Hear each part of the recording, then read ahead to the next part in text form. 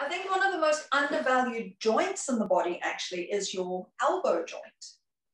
We don't often think about how important that elbow joint is. You know, there are um, two bones that have to be able to rotate around each other, the radius and ulna in here. Um, you can see these two bones and how they connect in with the elbow joint and look at all of that movement.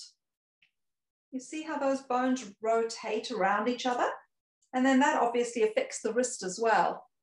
Yeah, so that's quite a lot of elbow rotation. So if we, and there's a very big bundle of nerves in here. So, you know, if you've ever hit your funny bone, it's not a funny bone, it's a whole sort of cluster of nerves. And that's why you sort of go all completely like your, your mm-hmm. arm just doesn't belong to you anymore. And it's really, really painful. So if those nerves start getting bound up and squeezed because the, the, the muscles and the fascia is too tight, then we start losing function in the forearm. Yeah.